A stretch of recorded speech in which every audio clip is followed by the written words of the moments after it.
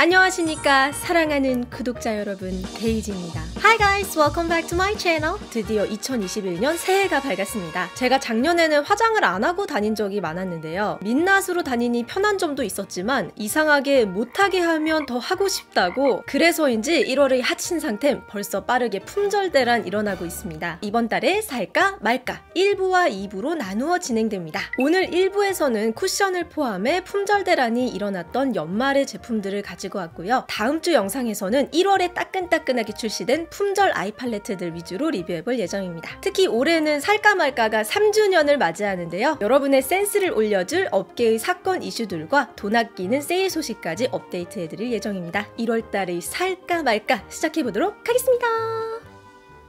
뿅! 첫 번째 살까 말까 제품은요 따끈따끈하게 출시된 마블 팩트죠 입생로랑 뷰티 마블 팩트입니다 SPF 50 plus PA 뿔뿔뿔뿔이고요. 저는 BR10 호수를 선택했고 가격은 95,000원에 판매되고 있습니다. 이런 마블 제형의 쿠션은 한국에서 2, 3년 전에 상당히 유행했던 제형 중에 하나죠. 특히 에이지투웨니스나 루나와 같은 브랜드가 국내에선 큰 점유율을 갖고 있습니다. 원래 마블 팩트는 중저가 브랜드가 많고 홈쇼핑 매출이 큰 타입이죠. 그런데 심하게 고급스러운 패키지와 퍼프까지 장착한 이 아이가 등장했습니다. 중저가 브랜드들만 리뷰하다가 이 제품 제품을 보니까 살짝 생태계 교란종 같은 느낌? 이번 마블 쿠션은 파운데이션과 tone-up 베이스 그리고 농축 에센스를 함께 마블링하여 세 가지를 한 제품에 조화롭게 담았다고 하는데요. 퍼프로 둥글게 믹스해준 후 얼굴에 가볍게 밀듯이 눌러 발라주면 됩니다. 꾹꾹 누르면 살짝 두껍게 발리기 때문에 위에서 살짝 닿는다는 느낌으로 밀어주시면 제형이 밀리지 않고 부드럽게 밀착됩니다. 저는 개인적으로 마블 제형을 선호하지 않는 편인데요. 모공에 잘 끼고 또 시간이 지나면 각질 부각이 잘 일어나는 이 사용법 때문에 사실 정착해서 사용한 마블 팩트 제품은 없었습니다. 근데 이 제품은 밀면서 바르는데도 각질이 일어나거나 모공에 콕콕 박히는 모습이 없어서 마음이 편안하더라고요. 에센스가 농축되어서인지 커버력이 좋지만 수분감, 유분감이라고 할까요? 다소 느껴집니다. 코 쪽이 바른 직후에도 살짝 번들거리고 마무리는 가볍게 많이 두들겨줬는데도 묻어남이 꽤 있는 편이었습니다. 이번 살까 말까부터는 베이스 테스트를 할 때 한쪽은 파우더 처리를 하고 한쪽은 파우더 처리를 하지 않은 상태로 지속력 테스트를 진행합니다. 1시간 마스크 테스트를 포함해 총 6시간 동안 마블 팩트의 지속력을 살펴봤습니다. 시간이 지나니 파우더 처리를 하지 않은 쪽은 많이 번들거리는 것을 확인하실 수 있습니다.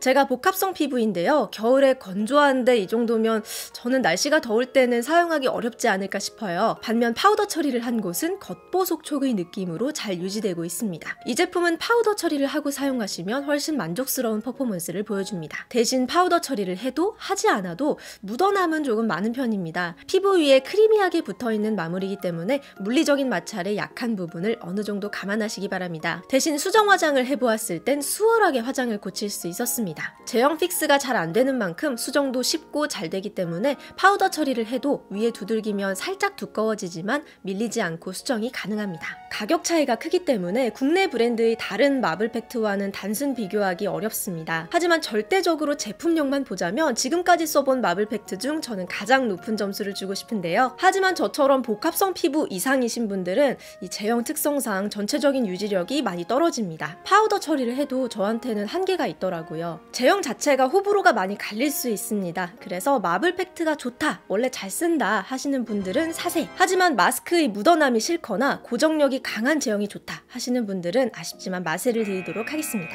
95,000원. 그 돈으로 치킨 사 드십시오. 내 고추마요가 몇 마리냐. 두 번째 살까 말까 제품은요. 제 유튜브 댓글에 굉장히 많은 요청이 있었던 brow 제품입니다. 라카의 wild brow shaper 가격은 12,000원에 판매되고 있습니다. 이게 뭐, 뭐 하는 녀석이냐 하면 이름하여 눈썹 마스카라. 눈썹의 결과 방향을 잡아주어 좀 더 입체적이고 생기 있는 눈썹 형태를 만들어준다고 합니다. 저처럼 눈썹이 부족한 눈썹 흑수저들은 또 주섬주섬 지갑에서 카드를 꺼냅니다. 게다가 눈썹 결이 제멋대로여서 불만이셨던 분들도 결을 원하는 대로 정리할 수 있는 제품인데요. 솔을 사용해 눈썹 뿌리 쪽부터 발라주시면 시간이 지나면서 점점 고정됩니다. 한 올 한 올 살아나는 것을 보실 수 있는데요. 처음에 쓱 발라보면 고정이 안 되는 듯 싶지만 일반 마스카라와 비슷하게 애기 몇 초 지나면 살짝 굳어지고 결 잡기가 쉬워지니 참고하시기 바랍니다. 결과 방향을 확실하게 잡고 싶으시면 소를 눈썹에 대고 애기 굳을 때까지 기다리셔도 됩니다. 너무 여러 번 덧바르거나 양을 많이 쓰시면 역시 가루가 떨어지고 떡질 수 있기 때문에 뚜껑을 열었을 때 솔에 묻은 양 한 번이면 눈썹 하나를 고정시키는데 충분합니다. 손으로 만져보면 고정이 되어서 마치 속눈썹 마스카라처럼 살짝 단단하게 유지되는 것을 볼 수 있습니다.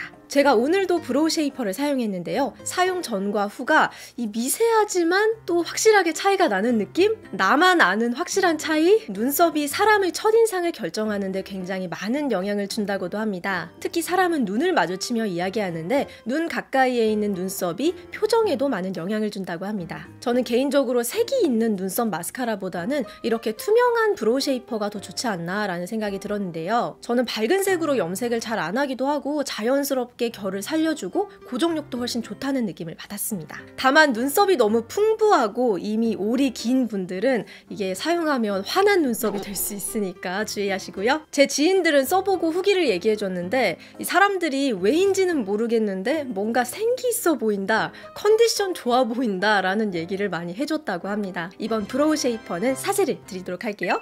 다음 살까 말까 제품은요 틴트장인 삐아에서 나온 신제품이죠 럭키샤인 틴트 2 11,000원의 가격으로 총 5가지 색상이 추가되었습니다. 삐아에서 품절 행진을 이어가고 있는 럭키샤인 틴트 2. 기존의 럭키샤인 틴트 1번이 청량하고 채도 높은 컬러들이 주를 이루었다면 2번은 MLBB 계열의 로즈, 베이지, mauve 컬러 등 더욱 자연스럽고 컬러 립밤 같은 느낌의 연출에 집중했습니다. 어머나, 어머나 얘 색감 좀 봐라. 그리고 제가 생각하는 럭키샤인 틴트 라인의 장점, 발색과 착색이 일관적이다. 착색이 진하지는 않지만 지워내도 발색과 정말 동일하게 착색이 남는다는 것이 장점입니다. 저는 다섯 가지 색상을 입술에 발색해 봤는데요. 바르기도 쉽고 과하지 않으면서 촉촉하고 건강해 보이는 물광 틴트입니다. 한때 기름광이 유행했었는데 마스크에 너무 묻어나다 보니 금세 버림받고 말았죠. 이 제품 역시 바른 직후는 촉촉해서 묻어남이 있지만 휴지에 두세 번 정도 눌러주면 유지력을 높여 사용하실 수 있습니다. 특히 06번과 07번은 품절이 걸릴 만큼 인기가 아주 많습니다. 요즘처럼 메이크업을 진하게 하지 않는 시기에는 딱 좋은 컬러감이죠. 저는 07번 베스트 인기상이 가장 마음에 들었는데요. 꾸안꾸 로즈라고 되어 있는데 정말 딱 꾸민 듯 안 꾸민 듯한 자연스러운 로즈 컬러입니다.